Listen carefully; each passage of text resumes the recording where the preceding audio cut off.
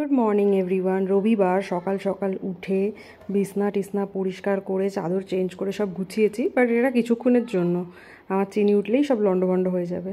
দেন সব table cloth ফ্রিজের উপরে ঢাকনা, সব ডাস্ট ফাস্ট ক্লিন করলাম চেঞ্জ করলাম। দেন হয়ে গেছে চিনিকে খাওয়ানোর সময়, ওকে দই চিড়ে খাওয়ালাম, একটুখানি ড্রাই ফ্রুটস আর জাগারি পাউডার দিয়ে।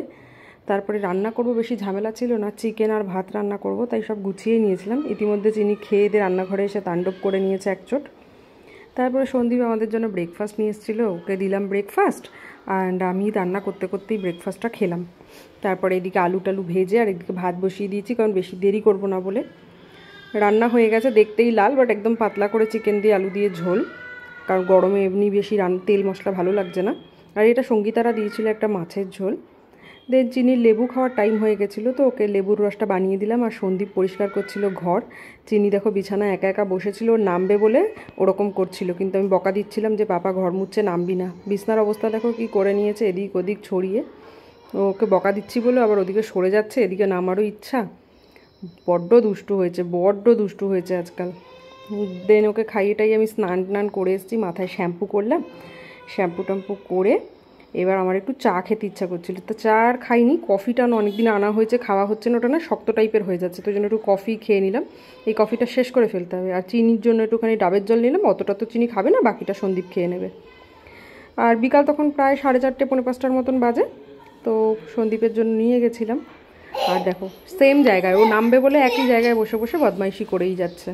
হুম, এখন ওখানটায় লাভ হবে, জলের বোতল নেবে, এইসবই করে। সারাটা দিন এসব করতে থাকে, সারাটা দিন। ঘুমটুকু বাদ দিয়ে বাকি দুষ্টুমি একদম অন মুখ চোখ দেখো মানে একদম বদমাইশিতে এক্সপার্ট হয়ে গেছে। কি কি ওর থেকে কোথায় কোথায় সরিয়ে রাখব একটুখানি বলো? সব জিনিস সরিয়ে দিয়েছি। টেবিলে এখানে একটা ঝুড়ি থাকতো যেখানে ছোটোখাটো ক্লিপ গার্ডার চিরুনি লিপবাম রাখতাম, সেটা ওর দৌলতে সরিয়ে দিয়েছি। দেন সন্ধেবেলা আমি সন্ধেবেলা একটু কফি খেয়েছি নাচোস দিয়ে চিনি ঘুমাচ্ছিল তাই জন্য। তারপরে তো চিনি উঠল, ওকে একটু খাইয়ে নিয়ে আমরা একটুখানি বাইরে স্কুটি নিয়ে বেরোলাম। অ্যান্ড বাইরে কালকে সন্ধেবেলার পর থেকে একটু হাওয়া হচ্ছিল, ওই জন্য চিনি স্লিভলেস জামা পড়েছিল তো ওপরে হালকা একটা জ্যাকেট পরিয়ে দিয়েছি। আর যেহেতু স্কুটিতে করে বেরোবো, তাই জন্য ওর জন্য টুপিও নিয়ে নিয়েছিলাম।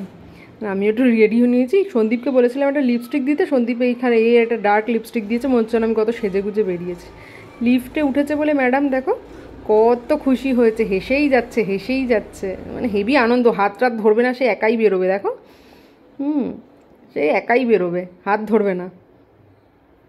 এত পাকা হচ্ছে চিনির জামাটা দেখে বুঝতেই পারবে বাইরে কেমন হাওয়া হচ্ছিল। ওই জন্যই চিনিকে জ্যাকেটও পরিয়ে দিয়েছি আর চিনির জন্য টুপিও নিয়ে নিয়েছি।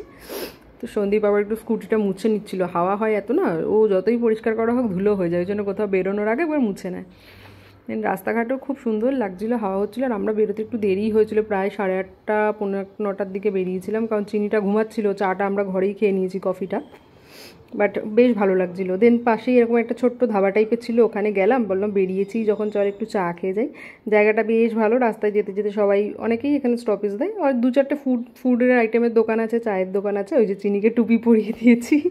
সে এখন নামবে বলে ওরকম করছিল, আমি নামতে দিইনি। দেন এখানে এসেছিলাম ফল নিতে বাট সিঙ্গাপুরি কলাগুলো ভালো ছিল, ছোটো কলাগুলো ভালো ছিল না, নিইনি। দেন কিষান বাজারেও গেলাম, কলা ভালো পেলাম না। আর কিছু নেওয়ার ছিল না। দেন বাড়ির দিকে রওনা দিই। চিনিকে দেখো টুপি পরিয়ে দিয়েছ, এদিক ওদিক করছে। বাড়িতে এসে চিকেন গরম করি, আগে চিনিকে খাইয়ে নিয়েছিলাম, তা তখন ফোনটা চার্জে ছিল।